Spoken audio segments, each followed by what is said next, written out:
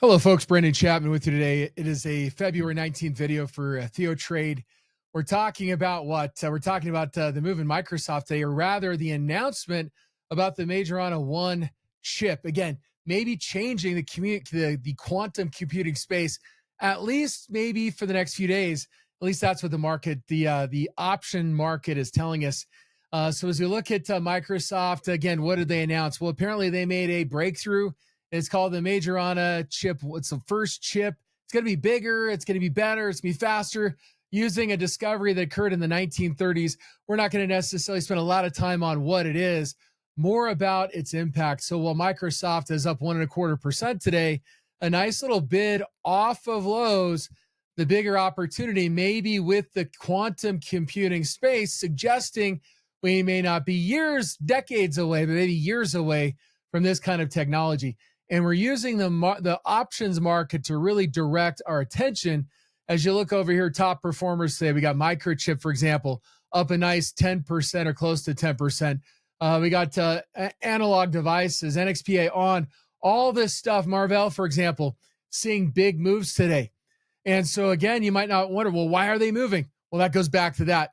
But the backdrop of it is also the fact that, look, we're seeing significant option activity amongst these stocks. And that's a big deal. So we're going to go to the scan tab here.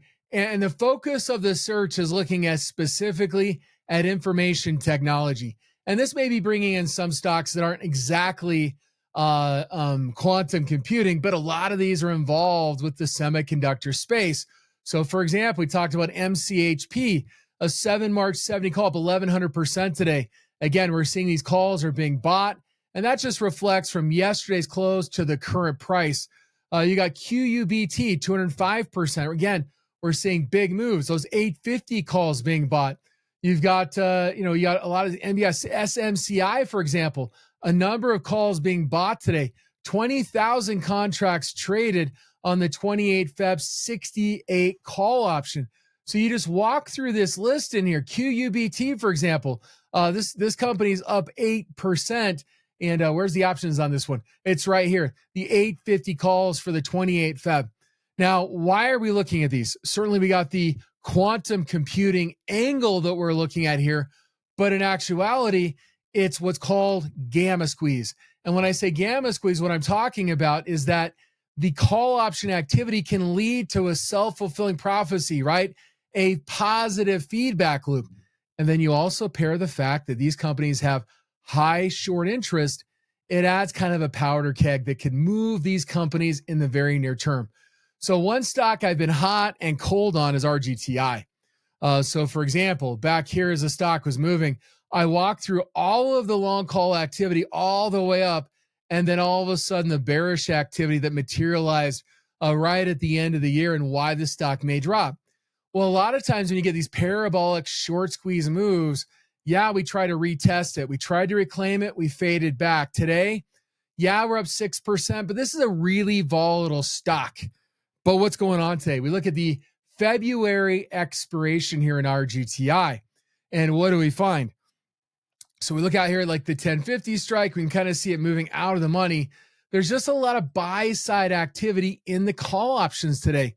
Notice 39% traded the ask. That's 61,000. 34% between the market. The calls are sizzling about two and a half times uh, the five day average volume. Now, this is significant for a very specific reason. It's because if we start to see the calls that are being bought here, the market makers have to hedge. Then, if we see that positive feedback loop, that gamma squeeze, it could propel into a short squeeze. And so, if we look at uh, RGTI here, um, we'll look at it on on uh, on Yahoo Finance. Just look at the short interest. What you'll see is that 22% of the float shorted. Now, what makes this time different than the past short squeezes is the fact that we're seeing a lot more volume traded on RGTI now. And so we may not quite get the squeeze we did in the past, but it does make it interesting for a near term move, right? We're not like we were back here, but you can see how long this persisted even at higher levels, turning over the float uh, or close to the float almost on a daily basis. Could we see a 16 handle, a 20 handle in RGTI? It's possible. But what this shows is that the risk is the upside, the opportunities to the upside versus as much downside risk in the immediate future. You look at IONQ, for example, right? This is another one. We go back to the scan tab here. IONQ. We'll kind of scroll down this list here. Um, we got IONQ right here, right? February 45 calls likely mostly bought, right? So again, we go back to IONQ 45. This is up here. Gives us a short term target. Could there be a $10 move in IONQ?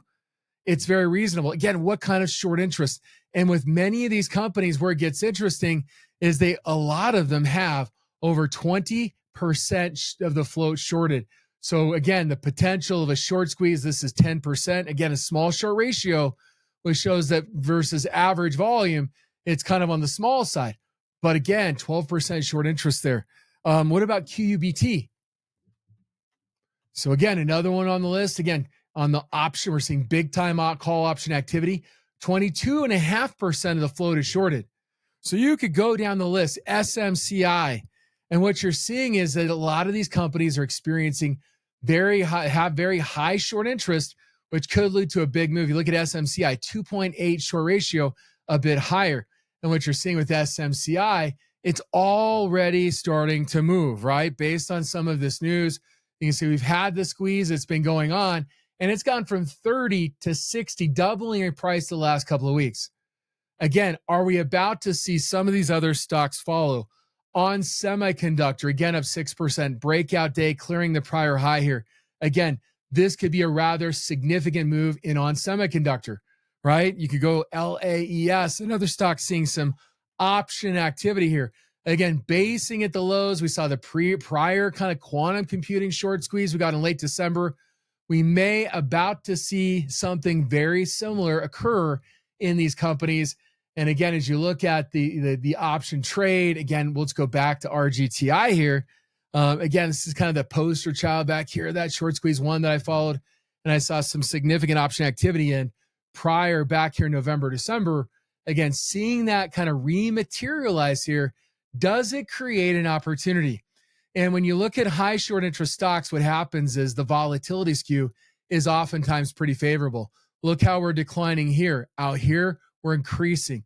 What that does, it makes these spreads cheap. You can buy the lower strike, sell the higher strike, buy a 12, sell a 14. All of a sudden, it costs you 50 cents on a $2 wide spread. And $12, where is it? 12 bucks is right here. We start to push through to 15, 16. You might be able to quickly get out of that for a 70, 80% gain by buying the 12 and selling the 14. A lot of these stocks are in this position, and the high short interest is causing that positive skew and really sets it up for these long call verticals to be able to be played. We look at QUBT. Does it have the same degree of liquidity? Same price setup. Again, thousands of contracts and open interest. Again, we're looking at what kind of upside opportunity 30 days out. Notice the volatility skew again. You could buy the eight, sell the 10, cost you what, 55 cents? Well, guess what? Where's the $10 strike? We get to 1250. You might even have a chance to close this out for a 70, 80% gain. So a lot of these stocks are setting up like this. They have great skew because of the high short interest, creating a real cheap kind of speculative opportunity. Yeah, we could break down and we go nowhere, but given the short interest, the option activity, my assessment is the the upside risk is here more so than the downside in the very near term. And that's a way to consider looking at this space or trading this space from a limited risk, high reward strategy defined risk. And again, you have the high return potential if we get the bigger moves. And if we get to 10, you could sell that spread and buy another spread. There's lots of opportunities to continue to parlay this if we get a bigger squeeze by just rolling the vertical. But I wanted to call attention to this because this is something that's happening today on the back of Microsoft's major Majorana news. Anyway, that's all I got for today. We'll catch you back next week. Thank you.